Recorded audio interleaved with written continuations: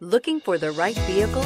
Check out the 2020 Elantra. The Elantra boasts the most interior room in its class and gets an exceptional 35 miles per gallon. With its luxurious standard features, the Elantra is an easy choice. This vehicle has less than 100 miles. Here are some of this vehicle's great options. Heated side mirrors, traction control, daytime running lights, remote keyless entry, remote trunk release, FWD, headlights auto off, mirror memory, security system, cruise control. A vehicle like this doesn't come along every day.